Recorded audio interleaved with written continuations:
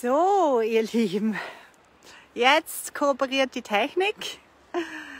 Ich wollte euch hier auf meinem frisch verschneiten, wunderschönen Spaziergang über den zugefrorenen See ein paar Inputs mitgeben über das Gesetz der Rückschlüsse. Wir hatten ja gestern in unserem Call, Coaching Call von Divine Creation Mastermind, hatten wir auch das Gesetz der Rückschlüsse nochmal genauer angeschaut. Und jetzt wollte ich mit euch das auch nochmal teilen hier. Und zwar geht es wirklich darum, zu verstehen, wie kraftvoll und wie machtvoll wir als Menschen hier sind. Und wie kraftvoll und machtvoll das ist, was wir denken. Und wir sind uns oftmals nicht bewusst, dass die Rückschlüsse, die Beurteilungen und die Bewertungen, die wir machen über eine Situation und insbesondere auch über Menschen, 100% kreieren. All das, was du glaubst, entsteht. Deswegen ist es so wichtig zu wissen, was für Rückschlüsse, was für Annahmen triffst du? Was denkst du über eine Person zum Beispiel? Und diese Überlegung darfst du dir jeden Moment machen. Was denke ich? Über die Person, die ich gerade treffe. Was für Rückschlüsse ziehe ich anhand der Kleidung? Was für Rückschlüsse ziehe ich anhand des Alters? Wir sind so konditioniert und wir sind so trainiert darauf, diese Rückschlüsse und Einordnungen zu machen und wir merken nicht, dass es aus uns heraus entsteht, dass wir den Menschen durch das, was wir über sie annehmen, weil es sind nur Annahmen. Wir wissen nichts, respektive wir wissen doch. Wir wissen, was wir annehmen. Und das, was du annimmst, ist wahr. Das, was du glaubst, ist wahr. Und wenn du einen Menschen anhand seines Erscheinungsbildes durch deine Filter, durch deine Grundsätze, durch deine Überzeugungen hin beurteilst, hast du diesen Menschen für dich in deiner Realität kreiert. Und andersrum ist es auch genauso, wenn du alle Annahmen, alle Beurteilungen entfernst, dann sind sie bedeutungslos und wirkungslos. Dann ist das, was du kreiert hast, plötzlich wieder unkreiert. Es ist nichts, es ist neutral, es ist aufgelöst. Und du kannst diese Person, wenn wir in diesem Beispiel bleiben, diese Person wieder neu kreieren. Du kannst neue Rückschlüsse ziehen, du kannst neue Annahmen ziehen. Und so entsteht ein neuer Mensch in deiner Welt. Und genau so entsteht Heilung. Genauso passiert Heilung. Du kreierst alles. Du bist alleiniger Schöpfer in deiner Realität. Du wählst die Version von dir selbst. Du wählst die Version der Person, mit der du interagierst oder die du betrachtest, die du in deinem Leben hast. Du wählst. Du wählst alles. Und du hast es schon immer getan. Du hast schon immer deine Rückschlüsse gezogen. Du hast schon immer deine Interpretationen gemacht. Und wie oft waren die nicht positiv? Wie oft waren die durchmischt mit Befürchtungen? Wie oft sind die durchmischt mit alten Stories, mit alten Erlebnissen? Und wenn du etwas Neues haben möchtest, musst du das Alte loslassen musst du das Alte nicht mehr wieder kreieren. Und es geht nur, indem du alles neu machst. Es geht nur, indem du neue Rückschlüsse ziehst, indem du neue Interpretationen hast, indem du einfach neu die Welt erschaffst, indem du deine Realität neu erschaffst.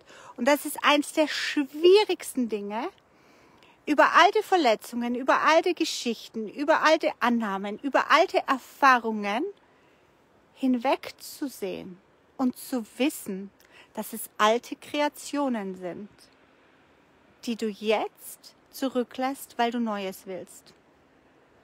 Und diese alten Sachen, die emotional geladen sind, die emotional an dir kleben, die loszulassen und dich selbst als neuer, bewertungsfreier, urteilsfreier, neutraler, klarer Schöpfer zu sehen. Das ist der allererste Schritt, der zu tun ist, um in seine Kraft, in seine Sicherheit und in seine Macht einzutreten. Um sich dann zu erlauben, alles mit neuen Augen zu sehen.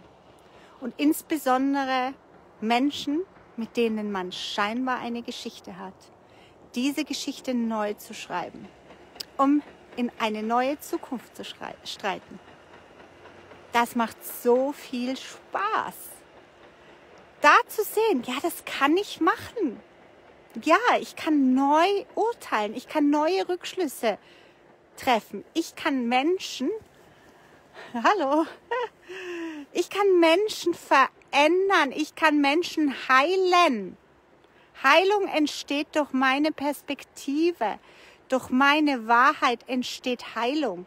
Und wenn Heilung entstehen kann, egal wo, im Körper oder im Umfeld, in der finanziellen Situation, wenn du Heilung bestimmen kannst, wenn es Heiler gibt, wenn Menschen heilen, und wenn du auch nur an den Körper denkst, ist Heilung doch nur ein Zurückkommen zum natürlichen wahren Zustand. Und dazu musst du den natürlichen und wahren Zustand der Menschheit, des Menschen, eines jeden Menschen kennen. Und der ist nun mal perfekt, der ist fehlerfrei, der ist ohne Einschränkung, der ist ohne Limitierung. Und wenn du für dich selber diesen Zustand als wahr, richtig und unwiderruflich annimmst, kannst du diesen Zustand auch für alle anderen annehmen und halten. Und somit sind wir alle Heiler. Wir können alles heilen. Wir können alles heil machen. Wir können alles neu machen. Weil alles entsteht in uns und in unserer Vorstellung. Und unsere Vorstellung wird dann wertvoll und aktiv und wirksam, wenn sie bewertet wird. Und zwar kann ich nur, kann ich bewerten, ich brauche nur zwei Bewertungen. So will ich es haben, nein danke, so nicht. So will ich es haben, nein danke, so nicht. Das sind die einzigen Bewertungen, die du brauchst. Du musst nur bewerten, was du haben willst. Ja, danke. Nein, danke. Ja, danke, so will ich es haben. Ja, wunderschön, gefällt mir. So bewerte ich das. So glaube ich das. So sehe ich das. Ja, danke. Kommt irgendein anderer Gedanke, eine andere Vorstellung, ein anderes Bild rein in deine Realität, sagst, mm -mm, sorry, falscher Akt, falsches Spiel, du hast hier keinen Auftritt, danke. Okay, wende ich mich wieder dem zu, wie ich es haben will. Darauf zu bestehen und zu wissen, wirklich, wirklich zu wissen, dass es so funktioniert. Das ist einfach mal die Grundvoraussetzung. Und zu wissen, dass es so funktioniert, ist nicht wahnsinnig schwierig, wenn du mal schaust, wie sich die Dinge ergeben haben, die du bis jetzt in deinem Leben erlebt hast. Wenn du da einfach mal überprüfst, wovon bin ich ausgegangen, was habe ich erwartet, was habe ich für Rückschlüsse gezogen, was habe ich gedacht, wovon war ich überzeugt. Und dann wirst du herausfinden, dass es immer das war, was du dachtest, was du glaubtest, was du angenommen hast, was du für Rückschlüsse gezogen hast. Es wird niemals anders gewesen sein, weil es niemals anders sein kann. Und wenn du dir da diese Klarheit verschafft hast, dann weißt du, wo deine Kraft und deine Macht liegt. Und dann kannst du sie dazu einsetzen, die Dinge zu erschaffen und zu kreieren, die du gerne haben möchtest in deinem Leben, die du gerne erleben möchtest, die du gerne sehen möchtest, die du gerne spüren möchtest. Darum geht's. Also, mein Input für heute. Finde Beweise für deine Macht und für deine Kraft. Finde Rückschlüsse, die du gemacht hast, wo das nachher sich ganz genau so ereignet hat in deinem Leben. Und wisse dann, wer du wirklich bist und was du wirklich machst, was du wirklich schaffst. Und setze dich dann auf deinen Thron, auf deinen Stuhl und erschaffe die Dinge, die aus deinem Herzen kommen, die dich begeistern, die dich in einen Zustand der Liebe, der Erfülltheit, der Fröhlichkeit und der Freude bringen. Und das musst du natürlich machen, ohne dass du es bis jetzt noch sehen kannst, damit du es nachher in der materiellen Welt erleben kannst. Und das ist die größte, größte Krux, aus der wir aussteigen müssen und sagen müssen, ich sehe es im Innen so lange, bis ich es im Außen sehe. Und während ich hier im Innen arbeite und kreiere, brauche ich im Außen keinen Beweis zu suchen. Weil ich weiß, wenn ich im Innen genug kreiert habe, zeigt sich der Beweis im Außen von alleine. Also habe ich im Außen gar nichts zu suchen. Gar nichts. Bis ich so lange in meinem Innen war, dass es im Außen von selber aufpoppt. Es kommt von selber. Und dann ist es da. Und dann kann ich mich dran erfreuen. Ganz einfach, wie, wie bei einer Blume, die ich sähe, die ich sehe, die ich dünge, die ich Wasser mit Wasser versorge, weil ich weiß, wenn sie genug gewachsen ist, dann wird sie sich mir zeigen. Und ich muss dazu nichts tun, außer zu wissen, ich versorge sie mit allem, was sie braucht. Und sie wird wachsen und sie wird da sein. Und ich habe keinen einzigen Zweifel daran. Solange ich sie nähere, solange ich sie hege und pflege und mich auf ihre Erscheinung freue. So ist es bei allem. Das ist Schöpfung. Upsala. So, ihr Lieben, sage ich euch hier, wäre ich fast überfahren worden von einer Langläuferin. genau. Das war eigentlich mein Video heute für euch. Wollte euch teilnehmen lassen. Ein bisschen von der wunderschönen Sonne, die mich hier verwöhnt, nach Hause zu euch schicken. Und von dieser herrlichen, weißen, sauberen, neu erschaffenen Landschaft, die sich über Nacht hier ergeben hat, in aller Schönheit, in aller Klarheit, in aller Ruhe.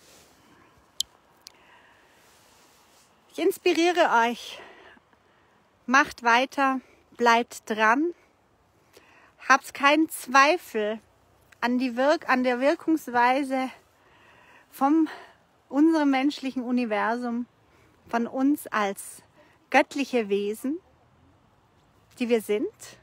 Und wir sind jetzt aufgerufen, aus unserer liebenden Schöpferkraft heraus eine neue Welt zu erschaffen, für uns ein neues Leben, neue Beziehungen.